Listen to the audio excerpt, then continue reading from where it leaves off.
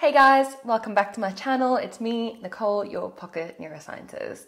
Today we're going to be talking about phone addictions and how we tend to as I was saying, today we're going to be talking about phone addictions and our tendency to keep checking our phones and being distracted by notifications. So listen up, put your phone on silent, and let's get into it. But before that, if you haven't liked and subscribed or commented, please do so now. You'll really be helping the channel grow so we can help reach the masses. I think we can all agree that we have a penchant or a penchant, if you're English, for wanting to check our phones as a habit, as potentially an addiction. And we'll get to the bottom today and you can figure out for yourself if that is treading the line. Have you ever forgotten your phone at home or left it in another room and you start to just reach for your phone even though it isn't there. I encourage you to try it and you may even be feeling some level of anxiety now as I'm saying that.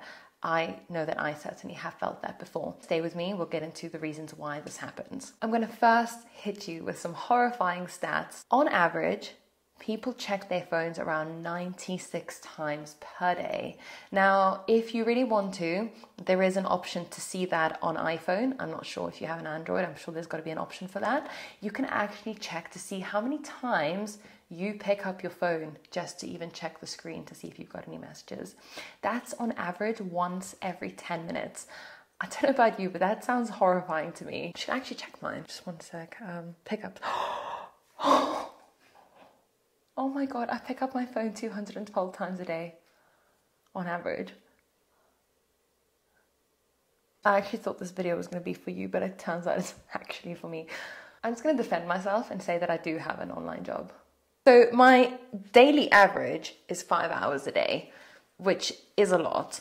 But I do know that if you spend an average of six hours a day, which is obviously still a lot, that is approximately 91 days per year that you spend on your phone. Obviously, that's a starking stat. So let me just add to this lovely sandwich that I'm making for you. It takes on average around 23 minutes to get back into a workflow once you become distracted.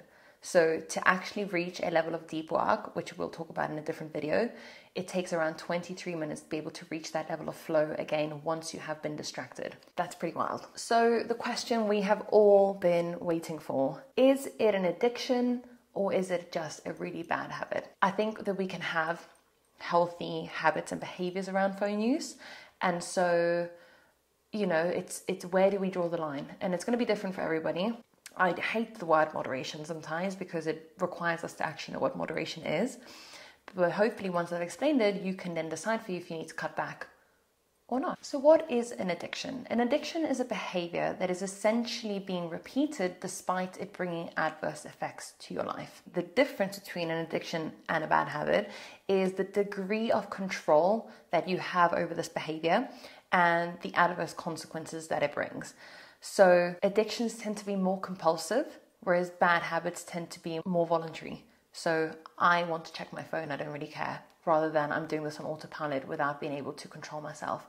An addiction could look like I really don't want to be on my phone, but it's bringing me stress and anxiety and actually causing me pain that I can't be on it. So, you know, bad habits can be hard to break, but they don't bring on this overpowering compulsion to want to keep doing it. So I generally tend to say that if you want to go into a Instagram hole or a TikTok doom scroll, then as long as you're doing it with your eyes wide open, excuse the pun, you're doing it with the intention of wanting to do that and have fun. You know, sometimes I do it and I'm actually having a great time, but it's not impacting my ability to work because when it starts impacting your daily life, your sleep patterns, your mental health, your ability to compare yourself to other people on the internet, that's when you're treading a fine line towards more of a behavior that is not serving you, which is bringing on adverse consequences. So, there's one thing I want you to understand, and that is that the first few days when you cut back on your phone use, it will feel weird. You might go through quote unquote withdrawals, but it does pass because one of the underlying themes for dopaminergic activity is that there's this dopamine behavior that says grab your phone or engage in the behavior that brings you joy. Right afterwards, Dr. Anna Lembke talks about this in her book. There's a feeling of pain that manifests in the form of I want more. The more you give in to that feeling of I want more, this brings me pain, I want more, this brings me pain, this kind of seesaw happens between the two. And the more you rock that boat, the more you start to lean towards addiction. And the only way that you can really get through that is to feel the discomfort, to sit within that boredom, the discomfort of wanting to reach for something that you shouldn't be having, and eventually letting that feeling pass. Because then what happens over time is that balance starts to reset and it starts to become a little bit of a shift up and down rather than a big kind of peak and a big trough. So, the underlying message is that if it feels impossible for you to leave your phone from seven o'clock at night. I personally put my phone away at seven o'clock at night. I sleep much better. I can engage with my family much better. I personally cannot look at my phone past nine o'clock. I do read a lot, but putting my phone away at seven to eight felt like hell for the first few weeks. It was one of the biggest habits to break because you want to check your phone. It feels so nice. It feels so good to just scroll while you're watching TV. But the other side of the coin is that if you do that multiple times, your brain starts to merge activities. So now all of a sudden you can't watch a film without scrolling on your phone because those two behaviors have integrated as the same pattern of activity, which the brain perceives as enjoyable. And without the other, the other one's not as enjoyable. So I want you to understand that even if you're thinking about the fact that I just encourage you to leave your phone at home and it brought you anxiety, it may do so in the beginning until eventually the brain rewires itself and re regulates itself to be able to live without it. So, of course, I can't live without my phone. I work online, but I have to have quite healthy and strict rules around my phone use. Otherwise, it just infiltrates my entire presence, my mental health, my everything. And so, I encourage you to do the same. Try it and let me know in the comments maybe how you feel. I did a post on not grabbing your phone for the first hour of the morning and I cannot tell you the amount of comments that I received saying, Oh my gosh, I've been doing this since this post. I've been doing it since you spoke about it a couple of months ago. So I've posted about it a couple of times. And honestly, the stark difference between doing it and not doing it is wild. And there's a plethora of research to suggest that this is good for the brain and good for our mental health. But it's just really nice seeing it from our community anecdotally. So drop it in the comments if you have tried it and let me know because I think it's uh, honestly one of the most underrated tools to improving your productivity and mental health on a daily basis. Brings me to my next point self interruptions. What is that, Nick? I'm about to tell you. Self interruptions are self generated interruptions. People think that there are external factors that are interrupting them from their focus and their work and their report that they're supposed to be writing. More than 50% of our interruptions are self generated and they come in the form of I'm just going to check my Instagram real quick. I'm just going to see if I've got a message. I'm just going to quickly check my email. Oh, I should actually have a cup of coffee before. Actually, let me quickly go to the bathroom and then I'll work. These self generated interruptions are the leading cause of our inability to focus. This number is increased when your phone is nearby. A research study that was done at the University of Texas showed that participants had a 20% reduction in working memory just by having their phone in their presence. Why? Because your brain is constantly thinking, I could reach for this at any point. You're looking at me right now, but there are things in my periphery, there are things in your periphery, and your brain is telling you that I'm important right now on the screen but your brain is still blocking out all the things that are in your environment. It's how the brain works. It basically attaches salience to the things that you are paying attention to. If your phone is nearby, there's going to be a divide on what is important. We call it an attentional capture. So your brain is going to want to revert to the things that are more fun in the environment and work very, very hard at continually bringing you back to focus if there's something that's more fun out there to be engaged with. So, just by having your phone in your presence can heavily impact your ability to concentrate on the task at hand. Also, because you know that there could be a notification at any point. I've spoken about this before and I've called it mental currency. So, my research essentially looked at our perceived idea of a mental break.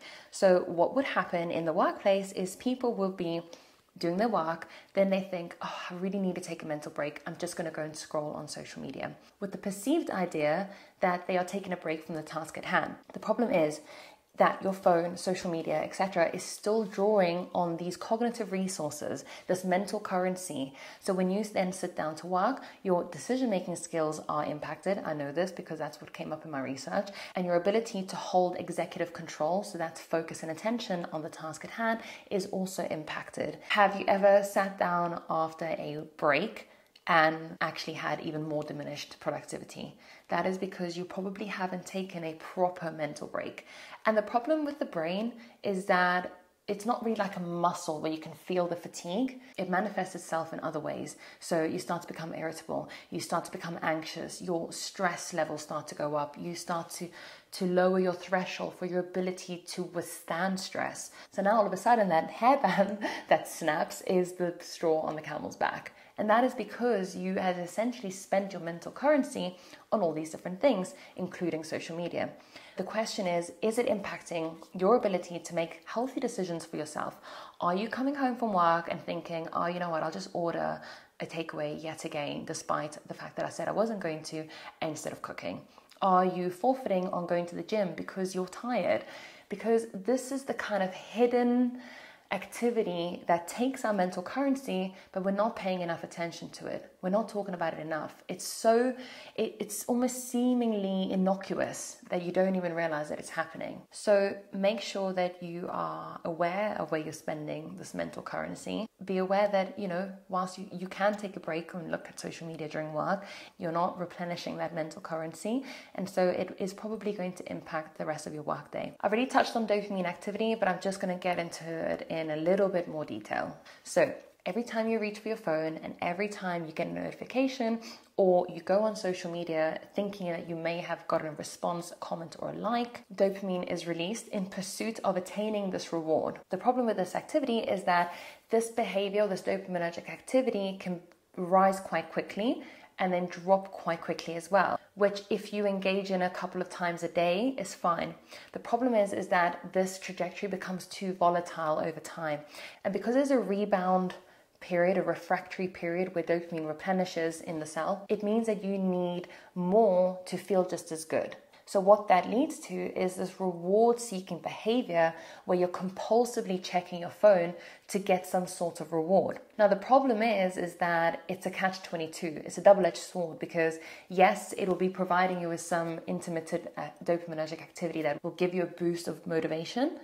but it will quickly dissipate and then you'll find yourself in the same problem a few minutes later. And as I said earlier, 96 times a day on average, which means once every 10 minutes. So every 10 minutes, you'll be looking for a boost where you could be in a deep flow working on your report, working on the things you're supposed to be working on. The underlying rule with dopaminergic activity, something I've spoken about extensively in my book Rewire, is that there needs to be effort in attaining the reward. So when we work on long term goals, when we work on things that release quote unquote slow dopamine, it just means that dopamine still rises, but it remains higher for a longer period of time instead of having this volatile up and down activity that is accompanied by quick fixes like checking your phone, eating sugary sweets, smoking, drinking, etc. So, by understanding this behavior, we can start to see why by the end of the day you may be compulsively checking your phone.